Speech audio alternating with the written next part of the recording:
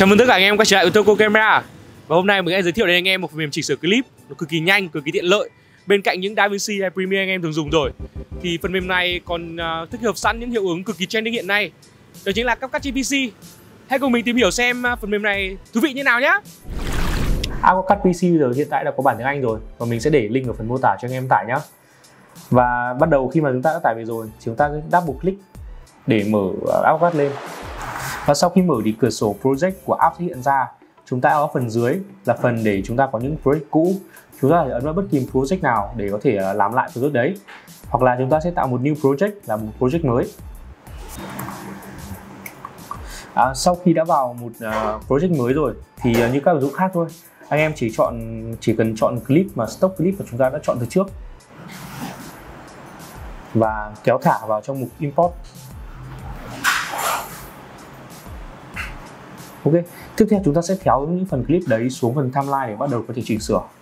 À, đối với cắt thì nó cũng sẽ giống như ứng dụng khác. Chúng ta sẽ có những cái phím tắt để anh em dễ dàng hơn trong quá trình chỉnh sửa. Thì chúng ta sẽ vào phần shortcut ở bên góc trên cùng bên phải. Và đây chúng ta sẽ có một bảng có rất nhiều phím tắt từ timeline, player, basic hay là other thì anh em có thể vào đây và học những phím tắt này để chúng ta có thể dễ dàng chỉnh sửa hơn nhé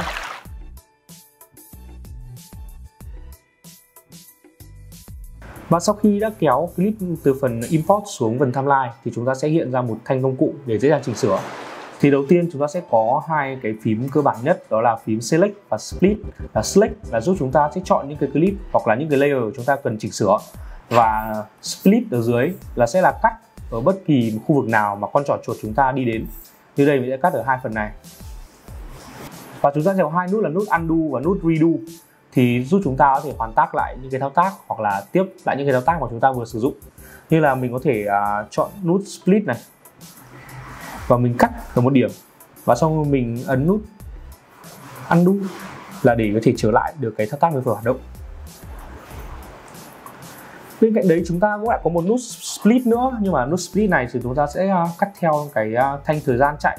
Khi thanh thời gian chạy đâu bạn ấn nút này thì nó sẽ cắt ở lúc đấy hoặc là như này, nó sẽ cắt đây ok, và bên cạnh đấy chúng ta sẽ có một à, chiếc icon thùng rác. Khi bạn chọn bất kỳ một layer nào mà bạn ấn vào icon thùng rác này, thì cái layer đấy sẽ biến mất. Và một icon tiếp theo khá là hay là icon freeze cái icon này thì sẽ giúp chúng ta đóng băng được cái khung hình lại.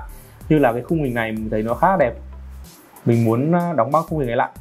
Thì mình chỉ ấn à, freeze nó sẽ ra một đoạn dài dần 3 giây và đóng băng là chỉ có khung hình đấy mà thôi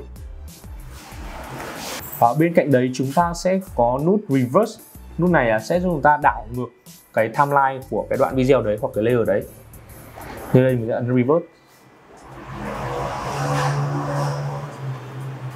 Nó sẽ giúp video chúng ta chạy ngược lại. Đó. Ok, cạnh nút reverse chúng ta sẽ có một nút là nút ờ, lật, là nút gương á. Là nó sẽ đảo ngược lại cái chiều của video của bạn như đây mình sẽ làm với video này nhá. Đó. Ok. Và cạnh nút mirror thì sao? Cạnh nút gương thì sao? Chúng ta sẽ có một nút lật, nhưng mà lật đây sẽ là từng góc 90 độ một.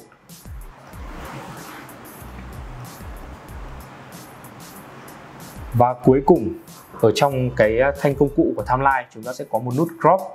Cái nút crop này giúp chúng ta có thể à, crop, mà theo tùy ý chúng ta thích này, hoặc là theo những cái tỷ lệ mà chúng ta có sẵn ở đây, như là một một này. 34 này. 43 hoặc là 96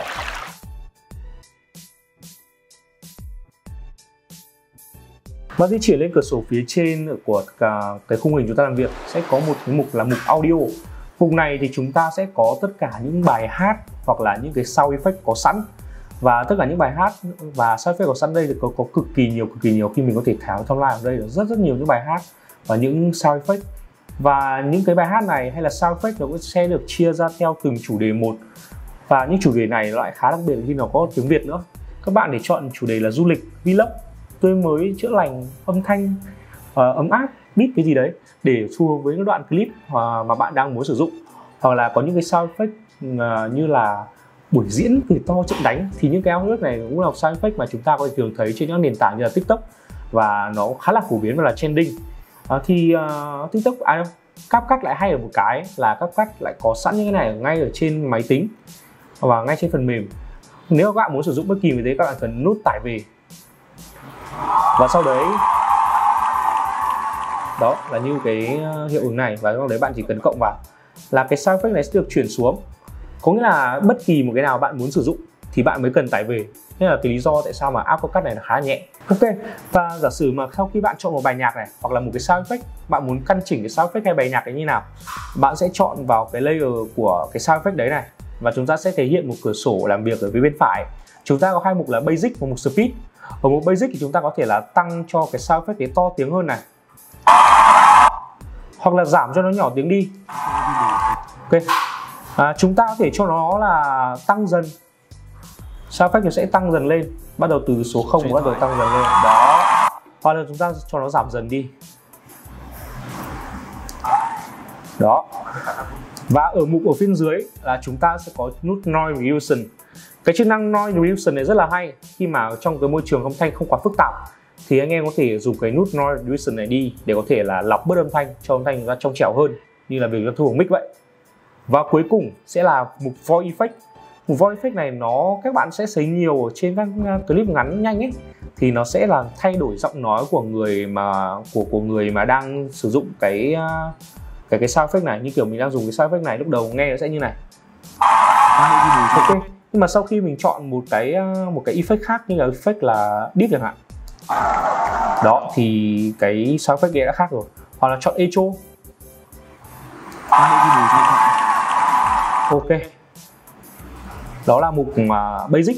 Và bên cạnh đó chúng ta mục speed. Mục speed này thì đúng như tên gọi nó thôi. Nó sẽ làm tăng nhanh hoặc là giảm chậm đi cái thời lượng và cái tốc độ của cái sao chúng ta chọn. Đó, thì cái sao đã sẽ nhanh hơn rồi. Hoặc là chúng ta sẽ nó cho chậm đi.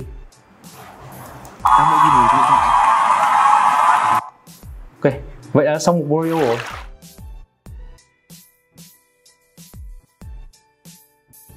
Và kế bên mục audio thì sao? Chúng ta sẽ có mục hiện lên là mục text. Thì mục text ở đây là mục chữ viết. Chúng ta có thể kéo những cái text vào để sử dụng. Thì à, ở đây chúng ta sẽ có một mục đầu tiên là chúng ta sẽ chọn cộng để chúng ta bắt đầu hiện ra một cái text chúng ta có thể sử dụng ở trên uh, uh, phần timeline của chúng ta. Rồi một layer text sẽ hiện ra. Ở đây chúng ta có thể uh, thấy phục basic bên cạnh. Thì chúng ta sẽ thay đổi và đánh những chữ ở đây là mình đánh chữ là Tokyo camera chẳng hạn. Ok. Ở dưới chúng ta sẽ chọn những font chữ khác nhau tùy vào mục đích anh em thích chọn font chữ nào đó. Chúng ta chọn font chữ đấy. Ở dưới ta sẽ có là size của khung chữ to lên giảm đi to lên nhỏ đi. À, có thể là cho nó bâu này font chữ bâu này gạch chân hoặc là nghiêng. Nó khá là giống với việc anh em sử dụng Word thôi. Và chúng ta sẽ có những cái màu sắc chúng ta thể chọn như là màu đen màu cam đỏ. Thì đấy tùy ý anh em chọn. Và hay hơn nữa là chúng nó chúng ta sẽ có những cái preset style ở dưới là những cái à, template chữ có sẵn ở đây, một số template chữ có sẵn. Và những cái template chữ nó còn nhiều hơn khi mà anh em quay sang một bên trái, nó sẽ có một effect ở đây.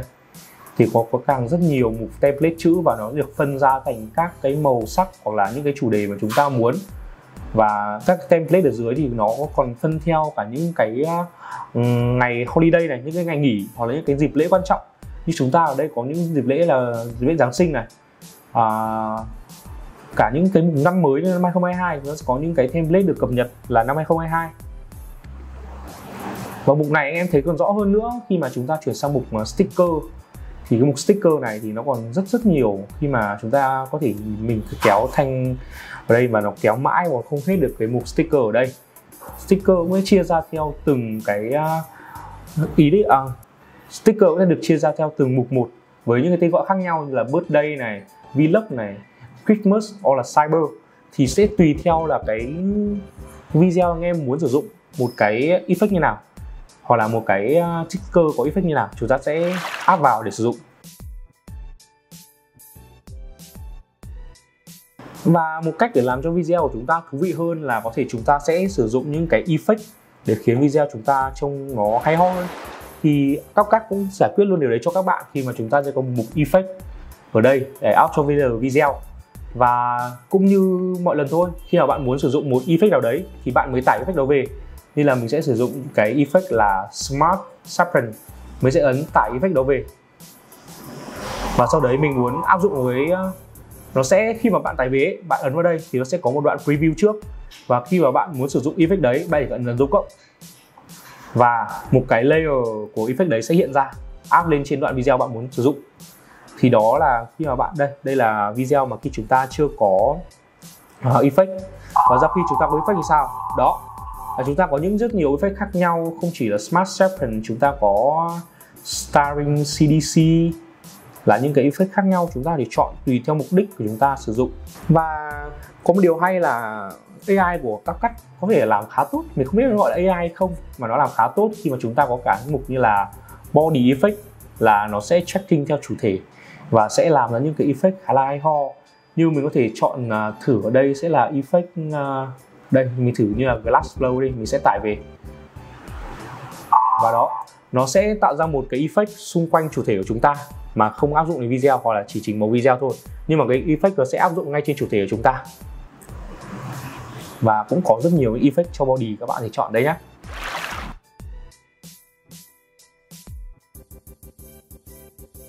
Và nếu mà giữa hai clip mà các bạn muốn chuyển cảnh cho mượt mà thì sao? Thì ở đây có một mục đó là mục transition là mục chuyển cảnh các các ứng chuyển cảnh. Thì rất rất nhiều cái ứng chuyển cảnh mà ta có thể thấy ở đây mà rất tiện cho các bạn khi các bạn không phải lên mạng tìm. Và thể dụng ngay ở đây. Chúng ta có những như kiểu là những cái đơn giản như là fade black black in này hoặc là um, kéo vào zoom in zoom out. Hoặc là những cái hiệu ứng có thể tuyệt vời như những flash. À, sau khi bạn muốn sử dụng một hiệu ứng nào đấy thì chúng ta lại ấn tải xuống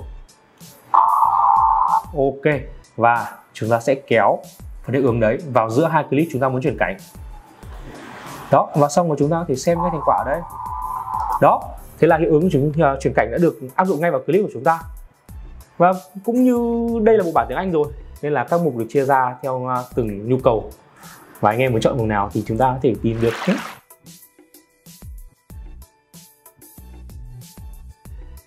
chúng ta đi hết đến uh, những hiệu ứng này chuyển cảnh rồi này thì clip sẽ cần edit sẽ có một mục rất là quan trọng đó là về màu sắc. Về màu sắc thì sao? À, như các bạn chơi Instagram chẳng hạn thì uh, các cách chúng ta sẽ có những cái filter chúng ta có thể dễ dàng sử dụng. Ở đây có rất nhiều filter có sẵn được chia theo thành mục như là portrait, live, food, movie và cũng như bình thường thôi các bạn muốn sử dụng. Và cái filter nào? Ấn tải filter đó. Sau khi tải xong chúng ta lại kéo filter đấy xuống thành một layer và áp dụng vào đoạn clip chúng ta muốn. Đây là clip sẽ trước khi mà có layer ờ, màu sắc. Đây là đoạn clip mà sau khi bạn đã áp cái layer màu sắc vào thì chúng ta sẽ thấy là ừ, à, màu sắc của clip đã được thay đổi. Chúng ta có thể điều chỉnh ờ, với cái filter màu sắc này không? Thì có. Ở mục bên phải đó, các bạn có thể thấy một thanh là thanh strength thì các bạn có thể điều chỉnh độ đậm nhạt của cái filter này. Theo mức mà mình muốn. Mình có thể nước đầm 40 chẳng hạn đó. Thì đã, đã khác so với cái mức mình để 100 vừa nãy rồi.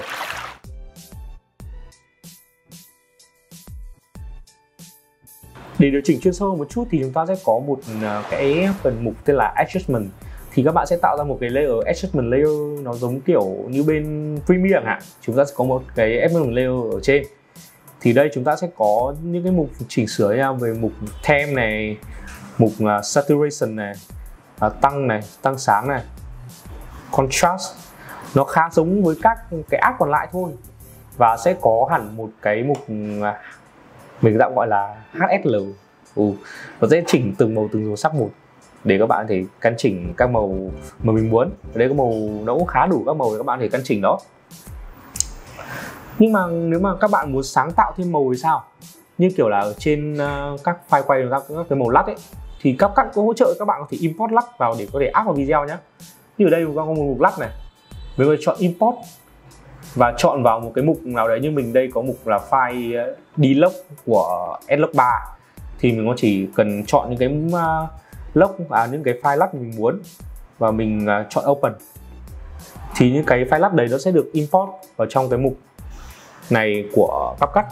Và để sử dụng thì các bạn chỉ cần kéo xuống cái layer mà muốn sử dụng thôi thì cái pha quay màu nó sẽ khác. Ủi rồi đây không phải file lốc nên là trông nó màu nó hơi tệ. Nhưng mà các bạn có thể chọn bất kỳ một cái file màu nào đấy.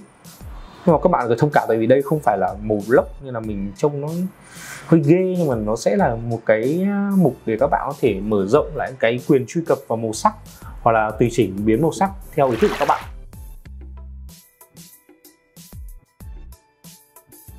Như mình nói ở đấy ở mục effect ấy, thì chúng ta có thể những cái có effect mà áp dụng lên cơ thể chúng ta được. Thì cái con AI mình nghĩ là AI của CapCut khá là thông minh. Và chúng ta có thể là điều chỉnh được cả về da mặt này, về khuôn mặt này, cũng như là về hình thể nữa.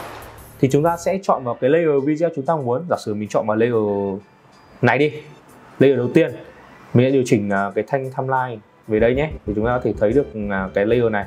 Ok, mình sẽ chọn layer này. Và sau khi chọn layer này thì chúng ta sẽ nhìn sang cái ô cửa sổ phía bên phải ấy ngoài những cái mục basic này cut out hay match thì chúng ta sẽ quan tâm mục cuối cùng là mục enhance. Và sau khi các bạn chọn mục enhance này chúng ta sẽ thấy là có bốn thư mục nhỏ hiện ra. Đầu tiên là face này tiếp theo là facial beauty. À, uh, make từ từ nhanh quá. Và đó là make up và cuối cùng sẽ là body. Thì ba cái thư mục đầu tiên sẽ giúp bạn hiệu chỉnh nhiều hơn về à, phần khuôn mặt và cái thư mục cuối cùng sẽ giúp bạn hiệu chỉnh nhiều hơn về phần body mình sẽ đi về thư mục đầu tiên nhé mục face và khi bạn muốn sử dụng bất kỳ một thư mục nào chúng ta sẽ có một cái ô hình vuông bé ở đầu. Bạn chỉ cần ấn tích V ở đấy đó là tích xanh. Lúc đấy chúng ta thể dụng được cái à, mục đấy. Đầu tiên với face chúng ta sẽ có smooth. Cái smooth này là sẽ là công cụ mà giúp bạn có thể làm mịn da mặt này. À, và như mình nói ở trên ý, thì con AI nó sẽ tự tìm kiếm cái khuôn mặt trong khung hình này để chúng ta có thể tùy chọn khuôn mặt để có thể sử dụng nhá. Thì khi mà mình kéo thanh smooth này lên thì khuôn mặt của bạn mẫu này nó sẽ càng ngày càng mịn hơn. Cũng như tiếp theo là cái thanh làm sáng mặt này. Kéo lên phát đến sáng luôn. Ây chà sáng luôn mà. Tiếp theo chúng ta sẽ có một thanh là thanh để làm trắng răng sáng răng ở dưới. Làm cho những cái khóe miệng cười chúng ta trông đẹp hơn chúng ta có cái smile line và cuối cùng là những cái vùng tối mà chúng ta không sử dụng được à, và cuối cùng là những cái vùng tối mà chúng ta không xử lý được khi mà chúng ta quay tiền kỹ, thì có thể xử lý bằng cái dark circle. Là chúng nó sẽ làm no sáng lại những cái vùng tối trên mặt của chúng ta. Trong mặt chúng ta sẽ đầy đặn và sáng hơn. Và mục thứ hai chúng ta có là mục facial beauty. Facial beauty như nào? Hãy cùng xem nhá. Chúng ta sẽ hiệu chỉnh nhiều hơn về từng bộ phận trên khuôn mặt như là về mặt này, về mắt này, về mũi này, về miệng này hoặc là về lông mày. Thì cũng như trên thôi, nó sẽ bằng tiếng Anh và từng mục này chúng ta chỉ cần chọn và kéo chọn và kéo. Nhưng mình sẽ sử dụng đầu tiên là thử mục face nhá. Thì mình sẽ kéo phần shape đầu tiên. Sẽ là kéo cho khuôn mặt chúng ta nhỏ lại này. Về mắt thì sao? Mắt chúng ta sẽ làm cho mắt to lên. Mắt thật là long lanh. Mũi thì sao? Mũi chúng ta có thể kéo cho mũi cao lên mũi nhỏ lại. Về miệng cũng có thể là cho miệng to hơn size to hơn hoặc là cho miệng uh, cao hơn. Và cuối cùng là về phần uh, lông mày chúng thể kéo cho lông mày của ta cao hơn hoặc là thấp đi tùy theo ý thích của các bạn nhé. Và nếu mà mục, mục thứ ba ấy à, một một hai ba. Và mục thứ ba sẽ cực kỳ là hữu dụng cho chị em. Khi mà trong quá trình quay chúng ta có thể là cái lớp make của chúng ta là nó không được đậm nữa hoặc là chúng ta edit mà chúng ta muốn đổi một lớp make khác thì CapCut có những lớp make up sẵn sàng chúng ta có thể sử dụng. Chúng ta chọn make up này. Chúng ta sẽ có những cái lớp make up đầu tiên là theo set. Chúng ta có set như là school girl À, uh, angel hoặc là california thì những cái set này chúng ta có thể hoàn toàn điều chỉnh độ đậm nhạt bằng thanh degree ở dưới. Đó khi mà muốn chúng ta nhạt chúng ta kéo dần về phía dưới hoặc là kéo đậm lên tùy theo chúng ta sử dụng. Không cần nữa chúng ta sẽ ấn vào năn nhé để vì không có set nào nữa.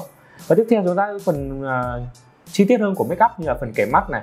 Chúng ta phải chọn những cái filter như là Shaw, white western hay là eyeshadow là đánh mắt đúng không?